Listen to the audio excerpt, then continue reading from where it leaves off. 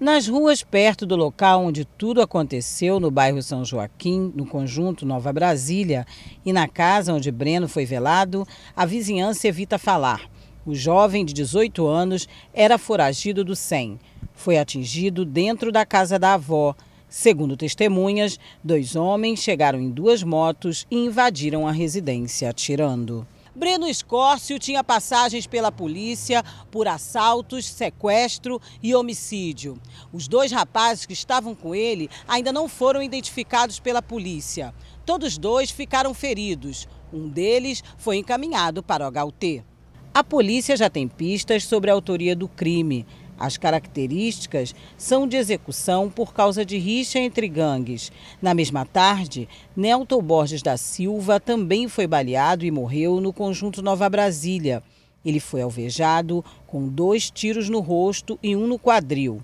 Dois dias antes, ele teria recebido alta do HUT, após se recuperar de ferimentos provocados por dois tiros nas costas. Os dois homicídios que aconteceu lá na Zona Norte, já tem indicativo de autoria. Um lá no São Joaquim, região do São Joaquim, e outro Nova Brasília.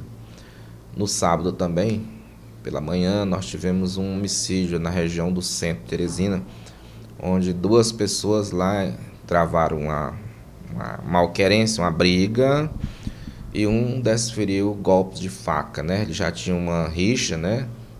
Anterior e um veio tirou a vida do outro. E aí, em sequência, teve esses outros aí. Contudo, a gente pode afirmar que todos esses crimes têm relação direta ou indiretamente com pessoas que já viviam no submundo do crime. É tanto que um deles estava é, com dois dias de alta do HUT, onde havia sofrido uma tentativa de homicídio com disparo de arma de fogo pelas costas.